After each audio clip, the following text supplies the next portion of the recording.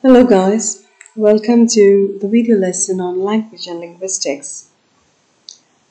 As we have seen in the previous video lesson, linguistics is a scientific study of language. The word was first used in the middle of the 19th century to emphasize the difference between a newer approach to the study of language that was then developing and the more traditional approach of philology. And we have seen in uh, very detailed aspects how linguistics was first termed and named as philology and then later on the linguists they have changed or altered the name to what we call today as linguistics. So the differences were they were largely matters of attitude, emphasis, and purpose. So philologists, the olden days we call them philologists, and now we call a philologist a linguist. Okay, so the philologist is concerned primarily with the historical development of languages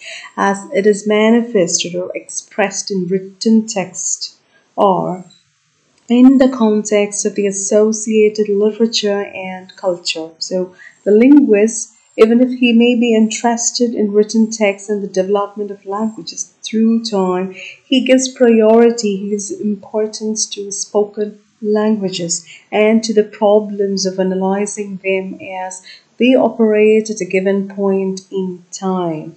That is the difference between a philologist and a linguist. A philologist primarily is concerned with the historical. He traces the history, the lineage and origin of languages. They are manifested or how they are documented in the written form and how they are defined or explained in the context of literature and culture. But that is not the case with a linguist. A linguist is purely a scientist. We'll have an upcoming video lesson on linguistics as a science. How do you juxtapose or how do you attribute linguistics as a science? Do you consider how far you call linguistics as a science? So you will have an exclusive video lesson for that. So the linguist is different from a philologist basically because he prioritizes spoken languages, the spoken discourses. He is his focus and his emphasis on the speech, the verbal form, what is being uttered or rendered. Okay. Now, the field of linguistics can be divided into three, I mean, dichotomies. What do you mean by dichotomy? It's a difference. It's a, division or separation or the contrast of, for example, the dichotomy between man and woman, day and night, light and darkness. So there goes the dichotomy, the, the sharp distinction, the the sharp division you can call it as being as things are sky earth and sky how they are presented in contrast and sharp division so there is of course three distinctions you can say okay where linguistics is divided into theoretical linguistics and applied linguistics and then you have a second kind that is uh, mm, synchronic linguistics, a synchronic approach to linguistics as well as diachronic approach to linguistics. And then you have something called the microlinguistics versus the macrolinguistics. So these are the different dichotomies. I shall explain it in detail in the upcoming videos and as our videos, the lessons move on gradually. Don't worry about that. So here in this particular video lesson, we will be uh, focusing on two distinctions where you have the different branches of uh, linguistics, where the difference between the general linguistics and the comparative linguistics. And then you have the linguistics, a very broad and massive distinction between theoretical linguistics and applied linguistics. So we shall leave the particular distinction or the dichotomy of the synchronic approach versus the diachronic approach to another exclusive uh, video lesson where we'll be delineating on Noam Chomsky, okay, and his uh, synchronic and diachronic and Saussure and all those guys, okay. So here we shall move on to branches of linguistics. Fine. Now, language in general and particular can be studied from different points of view. You can study, you can uh, trace uh, the study of uh, Malayalam language from what do you say the 15th century or 14th century or what do you say 19th century. You can trace it. You study English. You study English literature from 14th century. You trace it. Likewise, we are not talking about literature or art or film or anything. We are talking about the uh, system of language, sound, symbol, graphic script, etc., etc., from different points of view. So, therefore, the field of linguistics as a whole can be divided into different uh, subfields according to the point of view. So, the first distinction is between general and descriptive so descriptive linguistics so keep in mind one thing that linguistics is of course a scientific study of language where the three aspects of the study of the language a language's form its meaning and its context so language is studied in language is scientifically and systematically and analytically and empirically studied on the these three aspects. That is the form of the language the basic appearance or the physical appearance as you see the language how it is written or scripted or how it is documented and the meaning the semantics of language. And then you have the language in its context the situation the situation the circumstance uh, and how it produces, evolves, or how, how it attributes to the prospects of a language. Now, here, the first distinction can be made between general linguistics and uh, where general linguistics is divided further into descriptive, historical, and comparative. You have definitions, very sharp, very slight differences between all these branches. You can't say that they are different. You can't say that they are same. Okay. Now, what is general linguistics concerned with? General linguistics is a study of scientific study of human language in all its manifestation and usage. That's how uh, it is how language is used inside your family, how language is used outside your family, how it is used inside and outside your neighborhood, how it is used uh, in the past, in the present, everything, in whatever way language is being manifested, is studies that without any restriction, regardless of time, place, or culture. How language is used in Asia, how language is used in Europe, all over. It's a global phenomenon what comes under general linguistics. And it supplies the concepts and categories in terms of which particular languages. it studies all the languages. You can't say that general lingu- under general linguistics only english is being studied or analyzed or you can't say that only persian language or latin or uh, what do you say uh, the asian language the sanskrit the arabic. Every language is all over the globe all over the earth all over the whole world is being studied under general linguistics. And it's a scientific study of the theoretical basis for describing language and methods of investigating linguistic phenomena. Okay, now we shall move on to uh, this first distinction. That's what I told you. The general linguistics, which studies all languages in general, and where you have descriptive linguistics, which studies particular languages. In descriptive linguistics, you can say that yes, you are learning or you are analyzing the structure, form, the origin, evolution of Persian language. Okay, that's descriptive linguistics. Now, general linguistics supplies concepts and categories in terms of which particular languages are to be analyzed. But in the case of descriptive linguistics, it gives you the data which confirms or refutes, which goes against the propositions and theories put forward in general linguistics. So they are by no means unrelated, they are related to each other. Okay. Yes. and then you have something called the historic linguistics. So we have seen general linguistics, we have uh, uh, seen, um, yes, domain of historic linguistics. We have seen general linguistics where you talked about uh, the descriptive linguistics and what general linguistics is all about, and then we moved on to, yes, uh, historic linguistics.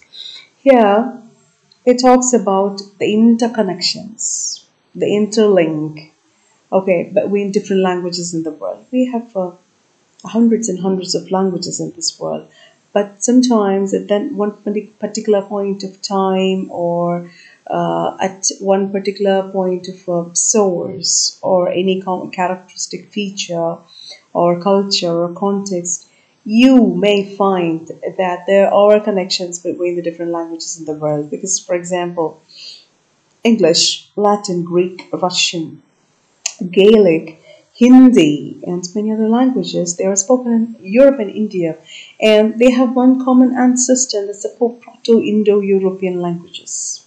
Yes, you have uh, uh, English, German, Dutch, Norwegian, and many other Germanic languages. They have the common ancestor that is Proto Germanic. You can't ever, ever, never, ever imagine that how English, Latin, Greek, and Hindi, uh, Sanskrit, they are interconnected or interrelated. They are, but they are, and we have to admit that. So here, historic linguistics, it studies their historical developments and how languages evolve and they change through time. And different languages, they have one same past parent uh, language. So that is what historical linguistics uh, studies or analyzes and how cultural contact, for example, you migrate, you move on to Middle East you stay there for 10 years or 15 years. Your language, your verbos, your repertoire of language will be uh, very strongly influenced or impacted by the Arabic languages. So many words, for example, I would say personally, like majlis is there, the Kaaba is there, and uh, what do you say? Mm, yeah, such words. So many, so many Arabic words, so many Middle East terms, and the hookah, and uh, so many uh, the desert safaris and the sand dunes. So many uh, things invigorate into your language. You use it. Your diction is manipulated by the Arabic culture. You migrate. You uh, go to what do you say Europe you settle in Canada or you settle in uh, Australia and you spend uh, lots many years there and you will find gradually your verbos, your language highly, very strongly influenced by the European languages. So many jargon, so many Australian flavor, so many, so much of Canadian flavor enhances, enhances and colors or uh, it impacts your language, it impacts your uh, talk, your words, your diction, etc. So that is it. And then we move on to something called uh, comparative linguistics, which we have already seen how general linguistics has been broadly classified into historic, descriptive, and comparative. So, his comparative linguistics was formerly uh, known as comparative grammar, which is the study of relationships or correspondences between two or more languages. This is what I said. Same thing, like the historical. Historical linguistics actually traces the evolution, but then comparative means it shows. It's uh, learning this, it's apparent that the different languages, two or more languages, they share a common ancestor.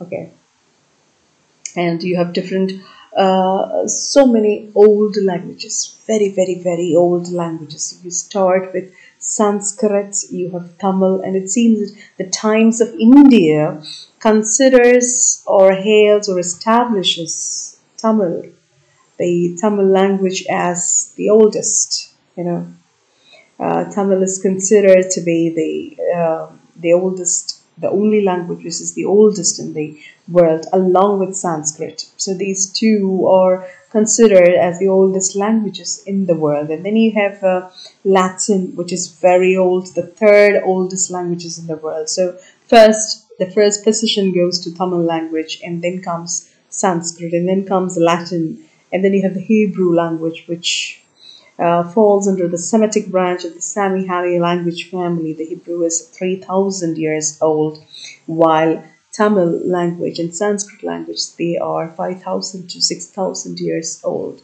And then you have the Egyptian language, which is very oldest known language in Egypt, almost 2,600 or 2,000 years old from Christ. But then this language is still keeping its nature alive, though Hebrew and Latin has faded out.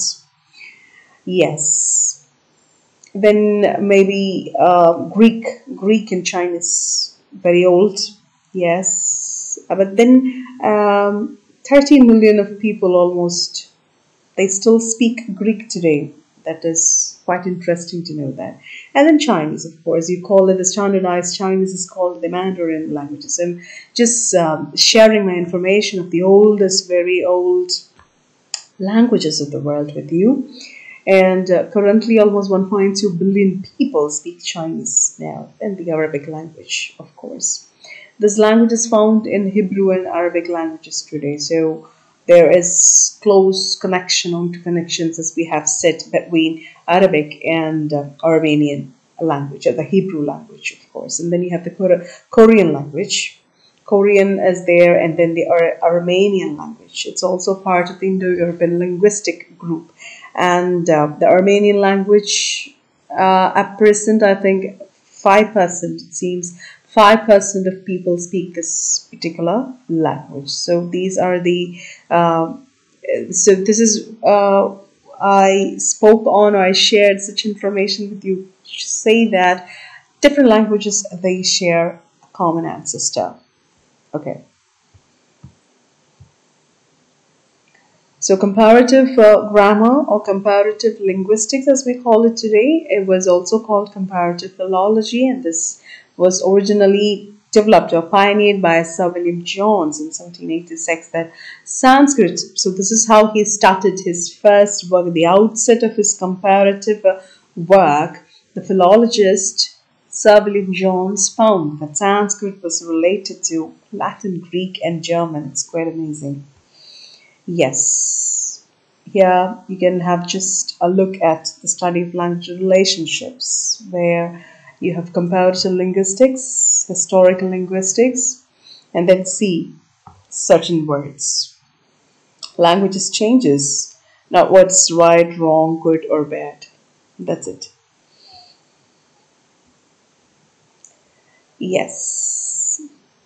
Here you have, uh, again, uh, I have uh, shared a lot many slides from which you can write your own notes, you can prepare your own uh, writings, etc.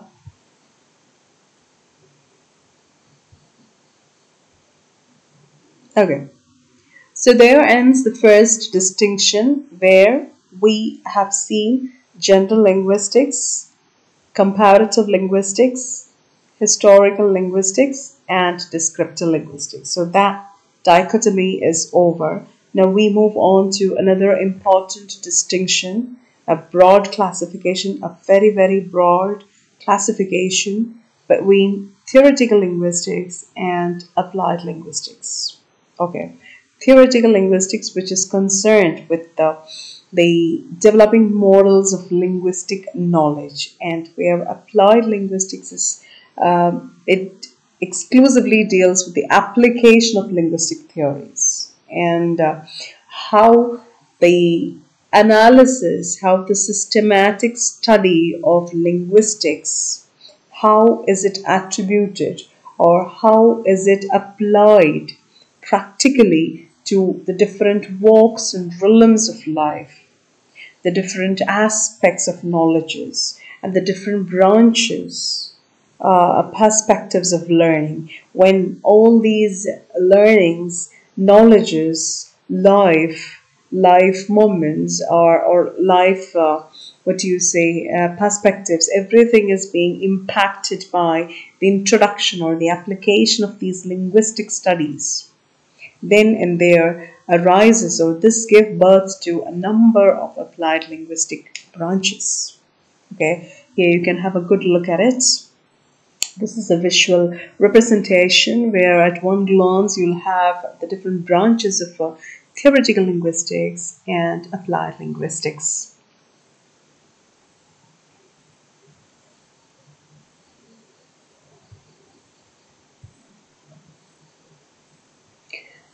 Theoretical linguistics, as I have already told you, it's a branch of linguistics that is most concerned with developing models of linguistic knowledge. For example, how sounds are produced, how voice is produced, how these sound segments they join together to form uh, morphemes. So it begins with your sound production, the speech organs.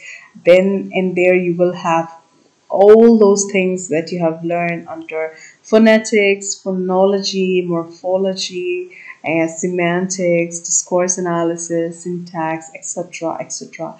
Everything comes under the core of theoretical linguistics. Okay, how sounds are produced, how speech organs produce voice, and what are the different voices and sound systems, how they join together, how meaning is being produced or evolved and how these words are arranged to form sentences and how sentences are constructed and used in special contexts and such things. So all these comes under theoretical linguistics. And then you have applied linguistics. It's an interdisciplinary field of study. It identifies, it analyzes, it explores, and it finds a lot of resolutions and it offers solutions to language related real life problems. How or to what extent language enhances or language impacts or language influences real life problems and what happens when linguistic uh, um, rules and theories are applied to real life, what happens to it? So some of the academic fields, they are related to applied linguistics, for example, neuroscience, psychology, sociology, anthropology, ethnicity, education. When all these are being influenced or impacted by the theory, I mean, the linguistic theories, what happens to it? So a lot many branches evolved out of this. Here again, you will have uh, this distinction. I am sharing multiple slides on same topic so that you can choose easily comprehensible notes and uh, according to your wish. I am repeating again, I'm sharing multiple slides on same topics again and again so that you can take down your notes, whichever notes, whichever, uh, I don't know, I mean, we can't say which portion or, certain notes you'll be, be easily uh, uh, is easy to grasp. And certain uh, you may find it sophisticated and a bit more tough and hard to uh, understand. So you can take down your own notes you can scribble jot down lecture points etc so this is again the same thing in a different way explained and delineated in uh, another style Again, you have this uh, distinction and definition of theoretical linguistics and applied linguistics. You can read through, and if you find it uh, comprehensible, of course, you can take it down.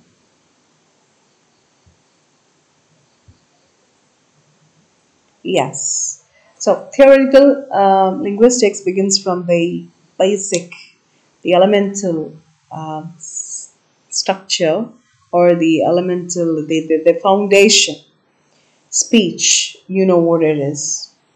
It's the act or it's the rendering or expressing or, or describing thoughts, feelings, or perceptions by the articulation of words. Of course, you have already a couple of years of learning phonetics and phonology. You are adept in all these things. So, you know, I, I needn't explain all those things. And here, the branch of linguistics that deals with the production of speech sounds, their combination, how they are described and defined and representation, they are represented by written symbols. All those things fall under phonetics.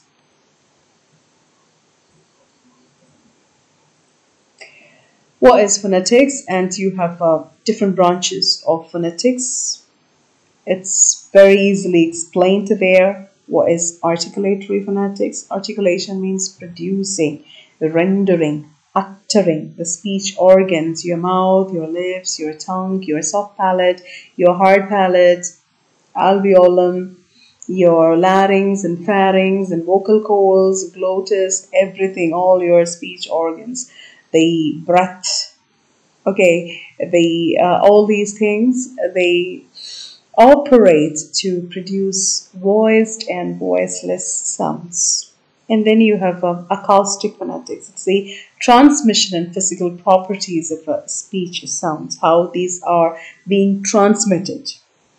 Okay, and then you have the auditory, of course, uh, pertains to the speech sounds, perception, how your ears uh, receives or perceives this. So there goes articulatory, acoustic, and auditory phonetics. The three branches of phonetics.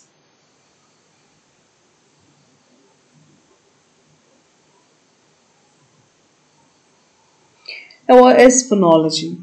Here, phonetics is different from phonology, where it studies the distribution of sounds in a language as well as the interaction between those different sounds. So that is what phonology is all about. In phonetics, you are learning about uh, is how speech sounds are produced and how they are described, how they are defined. And then you have seen the articulatory phonetics, how it deals with the the uh, the production of speech sounds and acoustic phonetics how it talks about the transmit the physical how it is produced whether it is voiced or voiceless uh, whether nasal sounds are produced or oral sounds are produced, the physical properties of that sounds produced. That's what acoustic phonetics is all about. And then you have the auditory phonetics.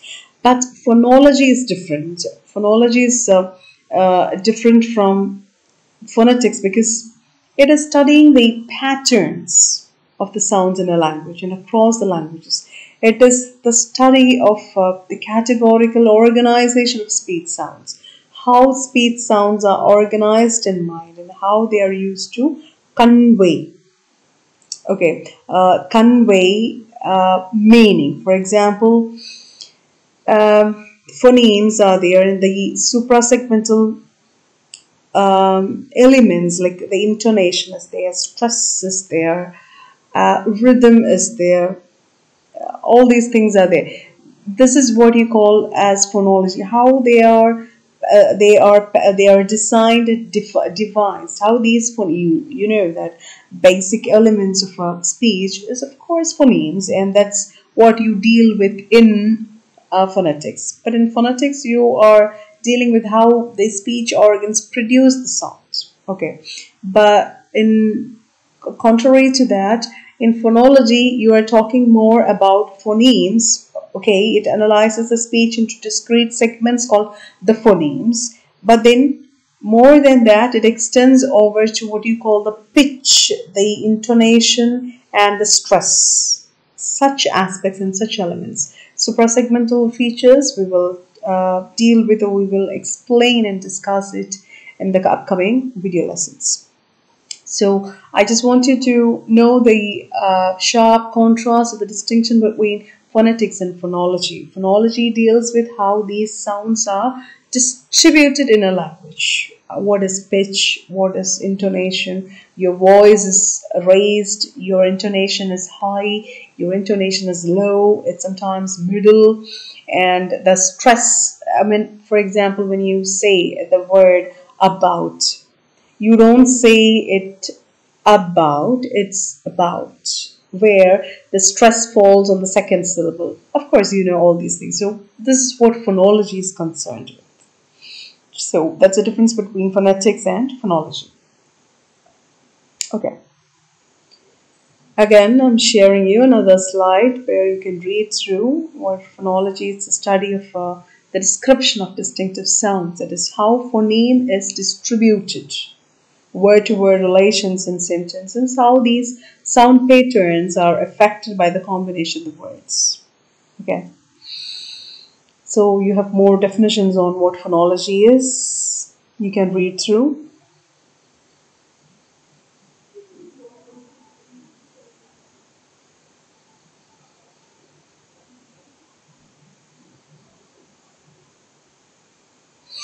Again, these are the branches of phonology where you have the, I have just explained it a couple of minutes back, what these are.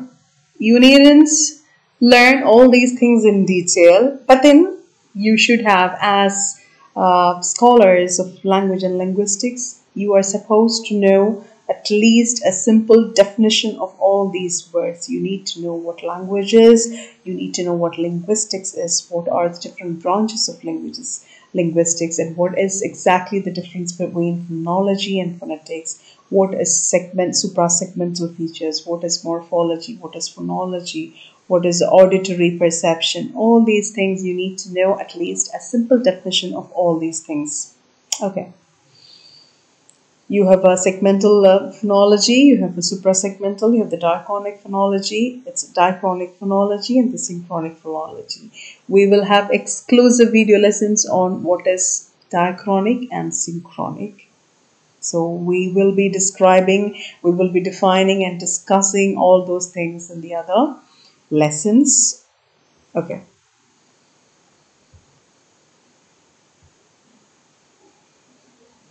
Yeah. Then comes a little more um, higher, a bigger, a more sophisticated level. Morphology, of course, it studies the structure and formation of morphemes or words, where there are minimal units of sound or speech sounds which has got meaning. It's simple and plain as that. It's the minimal unit of grammatical analysis. Right? So as learners of linguistics, you should be or you have to be capable. In uh, a couple of, uh, after attending a couple of lessons, lectures, uh, a learner, a scholar of linguistics must be able to be equipped or capable to define define words, define linguistic segments, define language elements. For example, what is a morpheme? Somebody asks you, what is exactly a morpheme? Okay, you can't. you can say in simple words that it is the basic uh, uh, sound system, the tiniest, the smallest sound system, which has got a meaning. Of course, that's a morpheme. Uh, and you can say it in simple word. It is of course a word. It's a word. It has got a sound, it has got a meaning. But then, as linguistic scholars, you need to say that it is the minimal unit of grammatical analysis. So, this is uh, what uh, learning linguistics make you, or you end up as a scholar who is able to define words in this way. Again, a definition for morphology, how it deals with the arrangement and relationship of the smallest meaningful units in a language. Unlike phonemes, they are simply sounds, they don't give you any meanings. Yes. And what is syntax? We have been uh, learning, we have been uh, listening to what phonetics is, the branches of phonetics, what is phonology, what is morphology, and now we move on to the next level of uh, complication or a bit more complex system of the language. It's syntax. What is syntax? Syntax simply deals with the arrangement of these morphemes of words into a structure. It is the arrangement where you have a sentence. A sentence is made out of words or morphemes. That is simply what you call as syntax. Syntax is the grammar. It is the structure or order of the elements in a language statement. You have the SVO pattern for English, and then you have the SOV or the other different different different languages have their own different um, patterns or arrangement of words. So here you have a syntax. Please go through that. You can read it. It's simple. It deals with uh, how words are arranged to form phrases, how they form clauses, and ultimately how they form um, sentences. Okay, so few words joined together to give you a particular meaning is what you call a phrase. But a phrase can't stand on its own. It must be uh, joined or it must be given permission to attach itself to a, a bigger phrase or a sentence, only then it has existence. But then clause is different. Clause is independent. It can stand on its own, even if it is not a part of a sentence. So, uh, morphemes or words, words arranged in phrases, or words arranged to form clauses, or words arranged to form sentences is all that you learn in syntax. As a grammatical structure of sentences. So I told you I'm giving you multiple slides with simple definitions, simpler definitions, and a bit more complex definitions.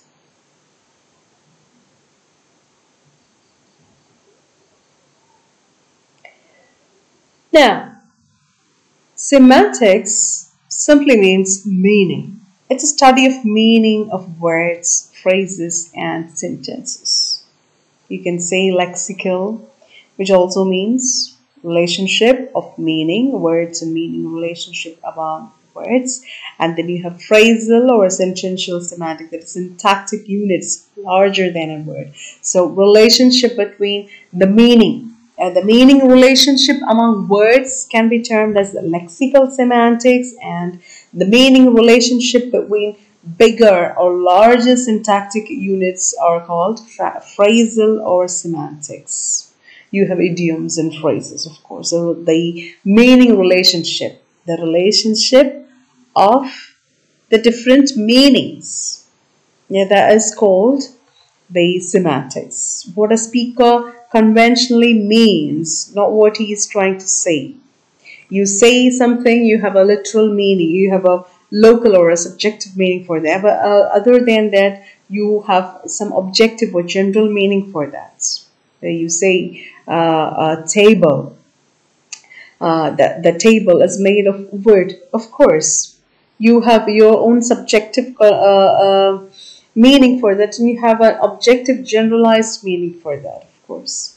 You, when you uh, explain it or when you dismantle it on our subjective terms, you have so many emotions and feelings and thoughts and ideas attributed to it. But when you, when a listener uh, listens to it or hears that the table is made of wood, of course, he, uh, 10 people listen to the same statement has got an objective general meaning or understanding that this is a table and it is made of wood. Nothing more than that. So that is what you call by semantics. Semantics has got two branches. It's just for information that lexical semantics or phrasal semantics. Lexical means words. Okay, the meanings of words. And phrasal semantics means it relate, it's related, it pertains to the meaning of a, a bigger uh, chunks of uh, words. That is phrases or clauses the meanings of phrases or the meanings of clauses. The relationship between that is called phrasal semantics or sentential semantics. I hope uh, it has made some sense to you. So simply semantics means it's the study of meanings of words, phrases and sentences. Yeah, here it's a pictorial, a visual representation of what semantics is. He, the dog, utters to his friend dog. Yes, So in his mind, he has got a visual representation, and uh, the other person who listens to it, he has got his own representation of a dog. So if you are trying to create common meanings, this helps everyone understand each other. So that's why that's what semantics study. Semantics describe, analyze, trace, and explores or investigates the uh, sophisticated, the complex relationship between meanings of words, meanings of phrases, and meanings of sentences. That's what you learn under semantics. Again, a simple definition for you.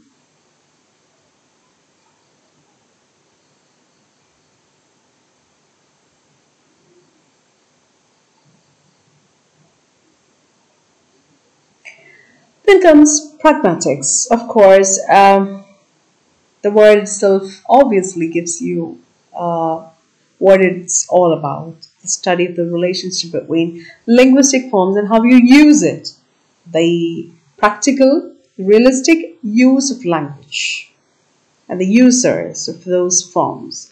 The relationship, you have certain linguistic forms. What are those linguistic forms? Words, sounds, uh, phrases, clauses, sentences. You have all these linguistic forms with you and the relationship between all these things and us. You are listening to, to my words and pragmatics is the relationship between all these words which I'm uttering and delivering to you and myself. And you're listening to my talk, my words, of course, and the relationship between those words and yourself. That is what uh, pragmatics explores or investigates. Again, you have uh, authoritative uh, definitions of pragmatics. Please read through.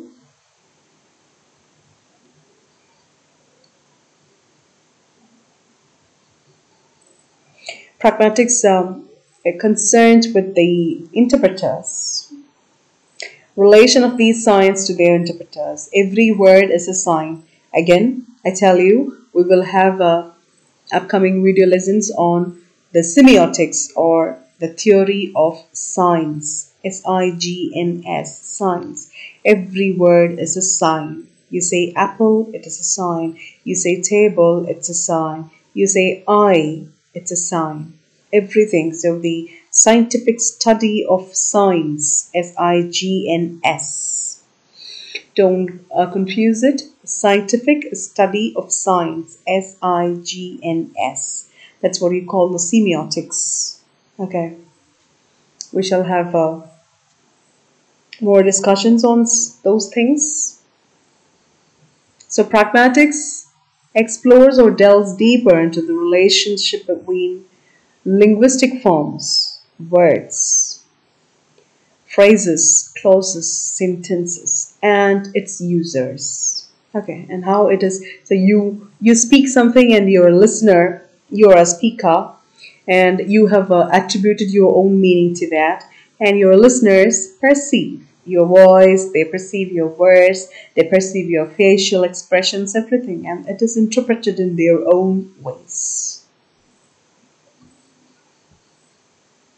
Pragmatics again, described by David Crystal as the branch of knowledge which studies the factors that govern our choice of language and social interaction and the effects of our choice on others. To see that the choice of language and social interaction governs our choice, our choice, and the effects of our choice on others. So that is it. In contrast to phonetics and phonology, morphology, syntax, and so forth, which describe the, please focus on that particular point, it describes the different levels of language structure. Language structure, I repeat, phonetics, phonology, morphology, syntax, etc.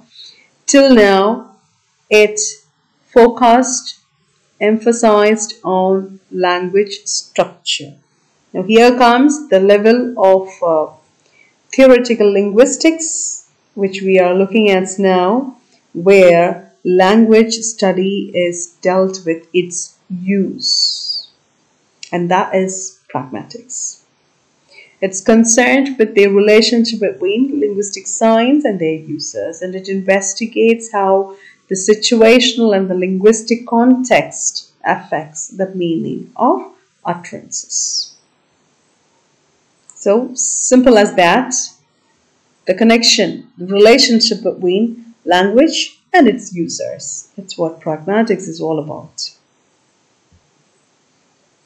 Again, a column wise distinction, clear cuts, one at a, I mean, at a single glance, you will have it demarcated into two branches the difference between semantics and pragmatics, where semantics deals with meanings, whereas pragmatics deals with the use of words and their context.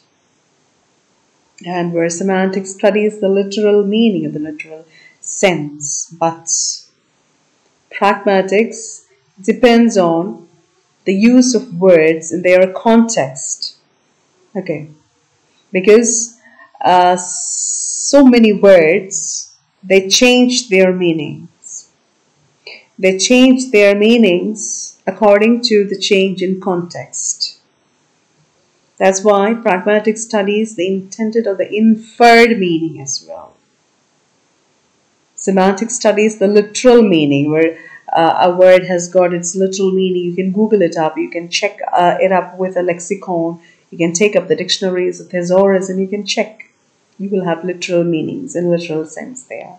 But pragmatics is not concerned with the literal sense. It is more concerned or it deals with or it analyzes the inferred meaning, what lies beyond the lines, beyond the words or behind the curtain. It depends upon the context. Yes. Now, what do you mean by discourse analysis? it's a stretch of language which is longer than a sentence. I have told you in the earlier previous video lessons what a discourse is. Discourse is speech or writing. It's a piece of writing or speech. A piece, a particular portion of written or spoken form of language. That's what you call as discourse. And discourse analysis, uh, it studies, it's an analysis of learning, uh, describing, defining, analyzing systematically and scientifically what these structures of languages, which is longer than a sentence. I am going to church. It is, of course, a sentence. Words are arranged here, and that is called syntax. Words are I am going to the church. All these are words, and they are the morphemes, isn't it? And these morphemes are joined together, and that is what you call a syntax. And when I say I'm going to the church today. You understand that I have something, some errands, some course or activities at the church, maybe prayer, maybe to attend the mass, or maybe to meet the clergy, the priest there. So many things are there, and that's what you call as pragmatics. You can assume, you can uh, infer so many things. Why Miss is going to church today, maybe to meet the priest, father, or maybe for a confession, or maybe to attend a wedding, or she's going to the church for attending the mass.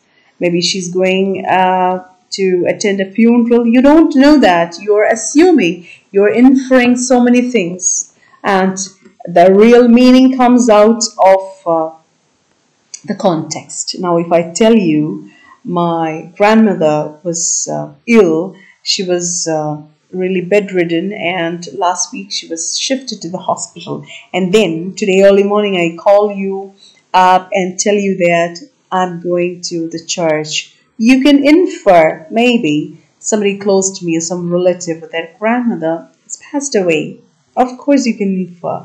That is what you call by pragmatics. Depending on the context, you are evolving meanings of that. And my sentence, I am going to the church today morning, when I say that, it is a simple, it is just a sentence which asserts that I am going to church. You can't infer, you, you, you don't have much more explanation. You don't have any other idea about that, but you in, infer about it. Now, when I tell you I'm going to the church today morning because the priest has uh, called me or the priest has rang up a couple of days back because he wanted to discuss uh, uh, something related to my children's, uh, what do you say, catechism, Sunday classes, or something like that. So there, it's a stretch of talk. It is a stretch of speech there, and analyzing this is what you call as discourse analysis when a discourse is being uh, rendered or, or, when a discourse is being uh, transferred, it actually has got a purpose. Every discourse has got a purpose, maybe spoken or written, and there will be a meaning for that, and it it will have a coherence. There is an order. You can't say that uh, my children went to didn't go to the Sunday classes. Priest called me up today morning, see, I'm going to the church today. You can't say this in this way. It's, uh, it's confusing and it's irrational, it's illogical. There should be a coherence. So every discourse has got a purpose, a meaning, and it has got some coherence to it. And it is bigger than a sentence. I hope um, you followed. Again, it's an etymological uh, information about discourse, which is derived from a Latin word discursus, which means run about. So that means it's running. It's running and making it expanding. It's expanding and it's increasing its size from that of a sentence. Okay. So there goes the definition, the etymology of discourse. It is derived from a Latin word discursus, which means runabout, means it's bigger in size rather than a sentence. Of course, keep in mind one thing, a discourse should have a context, a circumstance or a environment. Only there a discourse exists. You should pinpoint or you should delineate the context in which this discourse is spoken or written.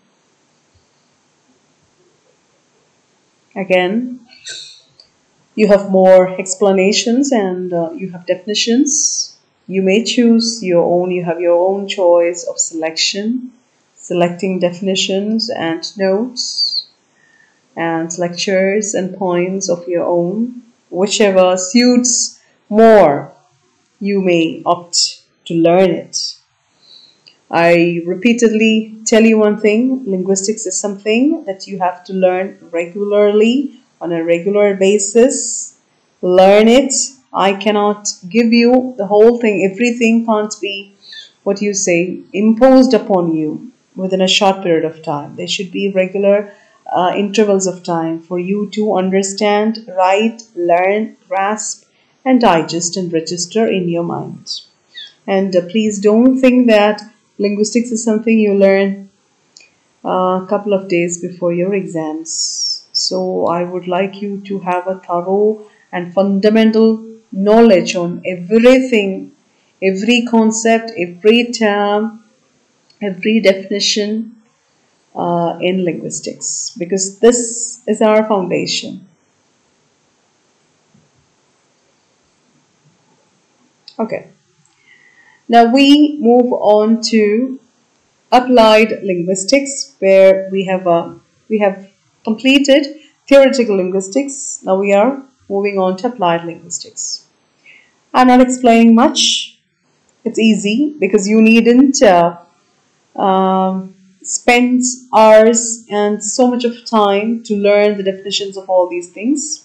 This much um, meager amount of definition and uh, explanation is needed for that. You have a when linguistics is being applied to, I told you, the different walks of life, different branches of learning and different branches of knowledge. You have uh, certain other branches, a series of linguistical approaches. Anthropology, of course, you know, it deals with the study of uh, human beings, anthropology. So, uh, anthropological linguistics deals has got two uh, elements or two branches for that. Anthropology is the scientific study of human beings and human behavior and societies, tracing it in the past and the present. You have a social anthropology and you have a linguistic anthropology. So all these things are connected. That's why I told you applied linguistics is interdisciplinary. It has got underlying connections, interconnections, networks, um, links, everything is being blended and uh, connected. The threads are tied into a knot. Okay, every every subject and every discipline has got so much of uh, uh, resemblances, similarities, dissimilarities, and they depend on each other. You can't simply filter out a particular discipline. These days, everything has to be interdisciplinary. We are heading towards such kind of uh, learnings and knowledge. The cognition of uh, knowledge and uh, learning is heading or moving towards the trajectory is towards that of an interdisciplinary kind of education that we need hereafter to confront the post world. I would say that because uh, we have to face a lot of challenges. It's challenging, you know, but at the same time it's more uh, it gives you it opens up a lot of opportunities and prospects we have to see uh, we, we can't simply be blind to that uh, aspect of the world today so anthropological anthropology means learning the human behavior human societies and humans as such that's anthropology so under that you have ethnolinguistics it studies the relationship between language and ethnicity. Ethnicity is a culture. And then social linguistics, it studies the relationship between language and social relations.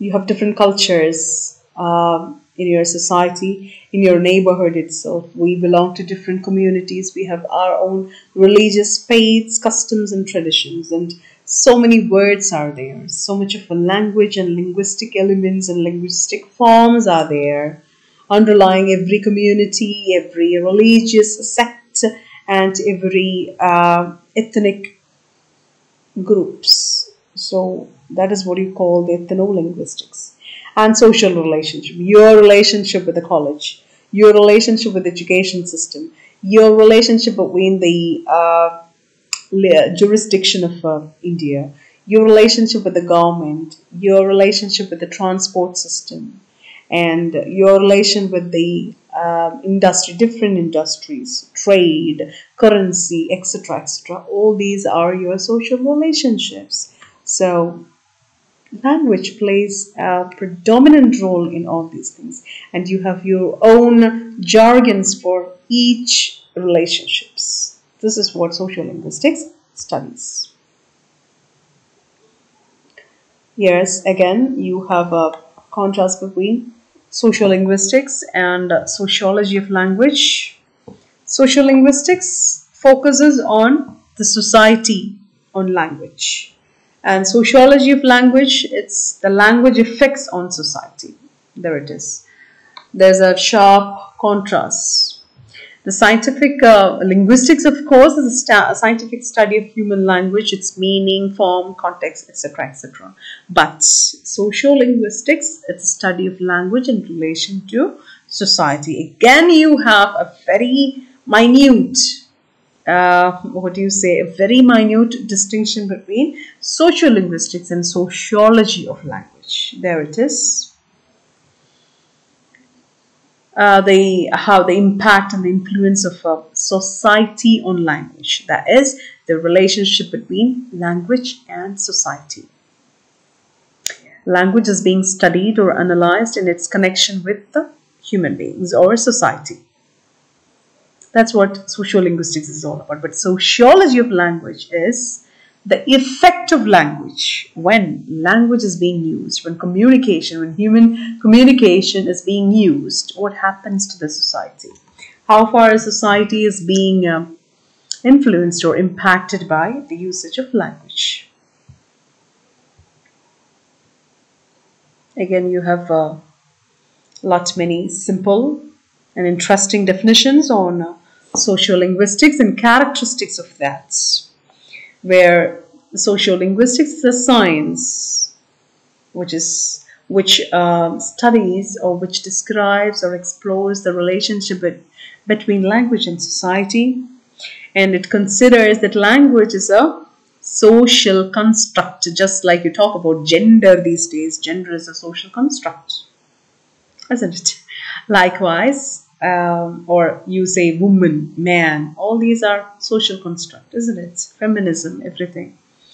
So, like that, language is a social and cultural phenomenon. And sociolinguistics studies language in its social context, how real life experiences and real life situations are taken into empirical study. And it is related to methodology and contents of social sciences too. It, of course, in sociolinguistic language is connected or language is being taken off, carried off, and uh, learned in compare in comparison to and it is being compared and contrasted to any social sciences.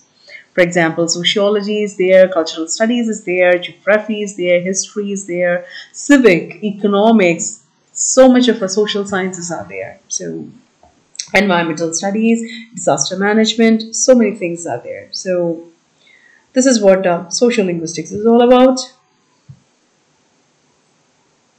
Yes, again, you have ethno-linguistics the language, the interrelationship or the interconnections between language and the cultural behavior of all those who speak it. This is how Britannica defines ethnolinguistics. It is a branch of anthropological linguistics. Of course, keep in mind, anthropological linguistics has got two important branches, ethno-linguistics and socio-linguistics. Yes, something related to psychology. I'm talking on and on, and you're listening to it.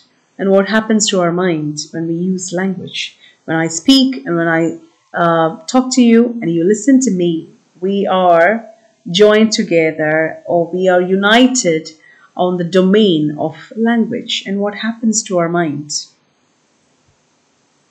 That is what you call as psycholinguistics. It's a branch of um, linguistics, which studies the relationship between psychology, human psychology, and linguistics.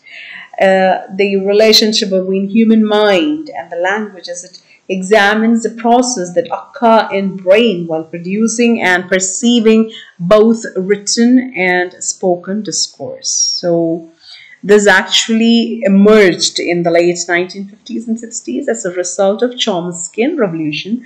We have already seen in the previous video lesson who Chomsky is, his contribution in a partial way. I have explained and you have listened to that and you have seen the uh, landmark works by Noam Chomsky and his considerable inevitable presence in the evolution and advancement and even now the important role that Chomsky plays as far as language, linguistics, and anthropology and philosophical sciences is concerned.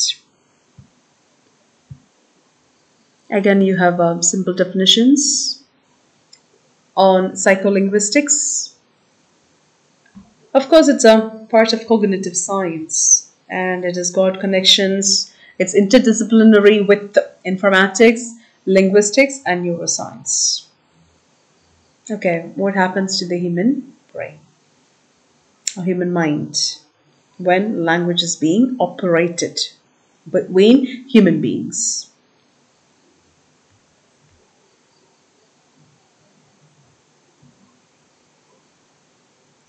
Yes, Now, what does that mean, geolinguistics? Of course, the term itself gives you a lot of uh, ideas related to the geographical con um, uh, concepts, geographical areas, the land, nation, country, etc. etc. Landscape. Yes. Geographers, why do they use language or why do they study language? These are the reasons. So the study of language is called linguistic geography and geolinguistics by geographers. They see there are so many things uh, which are upcoming. You have a uh, in connection or pertaining to which is very pertinent to geolinguistics. You have uh, called, uh, I'm just mentioning it to you, literary mapping takes place, literary cartography takes place, and uh, geolinguistics, as we said right now, and something called the spatial literature. Language and space, language and geography, language and continents, language and country, the space where you place yourself, the place or the space where you uh, fix your story. You write a poem, you write a prose piece, you write fiction, you write theater, you write dramas, anything. You have a locale for that. You fix or you place your story there, isn't it? Why? Why do you place it in that particular space, in that land? There will be a reason for you. So, geo uh, linguistics gives you a purview, gives you a vantage point of view relation between uh, language and geography. That is, um, it facilitates cultural diffusion of innovations and how customs and skills pass from one generation to next. And languages are carried, languages travel a lot Uh, it's the sense of region and place that geographers are talking about. And geolinguists, they learn this the relationship between language and how these languages are carried off by human beings from community to community, culture to culture, nation to nation, and continent to continent. Human beings travel and journey all over the globe, all over the world, and thereby the language is being transmitted. Uh, languages move to and fro. They come in and they move out. They come in and they go out of cultures, communities, geographical uh, la landscapes, places, regions, continents, countries, uh, societies everywhere. So this is what geolinguists are concerned with. Here, something in relation to neurolinguistics, the neural mechanisms in human brain that control, you know, there are different lobes in your brain. And each lobe is specific and uh, restricted to the learning of cognition and perception of several uh, different each each lobe each portion of your brain is connected or is concerned with or it is specific to the learning or cognition of different branches of knowledges. Uh, a person who is adept in, very expert in science, his, I mean, a particular lobe or region of his brain is working. And a person who is uh, well versed in arts and literature, something else, some other part or region or lobe of his brain is working, is operating. A person who dances, a person who sings, a person, I mean, you have different skills, you have different faculties, you have different powers embedded in you. So all these are interconnected with the different regions of your brains and your neuro uh, system, the nerve system of your body. So a human brain helps you to comprehend, to produce and acquire language. And there is something you have a, I know I don't know whether you have heard what you call uh, LAD, the language acquisition device, which is operating in every human being. Because you listen to language, you learn a language, or you acquire a language that is uh, accessible or uh, accessible or that is being listened to by your sensory perceptors, that is your ears. Your ears, your sensory perceptors catch uh, language or voices and that is the first and your language acquisition device operates in you and that is what that is how you acquire language so even if you are born in india if you are taken off uh, they uh, within a couple of days after your birth you are taken to europe and somebody is uh, taking care of you there of course you will be speaking english as a native speaker even if you are born to Indian parents, that doesn't matter. Likewise, a European child, if it's, is born, I mean, he is born here in India, of course, his language, his talk, and his accent, everything will be pertaining to that of the Indian English uh, conversation, or the Indian English style of uh, talking or speaking. So, the uh, sensory perceptors and the neural system that works or operates in every human beings. It controls the comprehension, the production, and acquisition of language. So that is what neurolinguists learn. The physiological mechanisms by which brain processes information related to language. Please read that again. Neurolinguistics or neurolinguists, they studies physiological mechanisms by which the brain processes information. You listen to language, you uh, the the body or the neural system inside you it works, it operates, it takes messages to the uh, brain and brain. Uh, what do you say analyzes it or brain controls all these information in connection to language acquisition and language comprehension and language production you have to listen to somebody in order to speak, right? Now I am speaking to you and you're listening to it. Later on, you comprehend all these things and then you produce your own knowledge, your own uh, academics related to it, your own notes related to it, and then you acquire all these things and then you produce it in your papers or you uh, you produce it when you speak. When I ask you a question, you comprehend it, you listen to it, you perceive it, you, you, the cognitive domain is working, and then you understand that, you comprehend, and then you reply. Isn't it? This is the process taking place, and the neural system in the brain plays a very significant role in that. Physiological means it's the physiological mechanism means it deals with the normal functioning of living organisms and their parts. That's what you mean by physiology. For example, you have uh, so many things in your body, like uh, enzymes are there, proteins are there, mitochondria is there, your heart system is there, your nervous system is there, your reproductive system is there, your uh, respiratory system is there.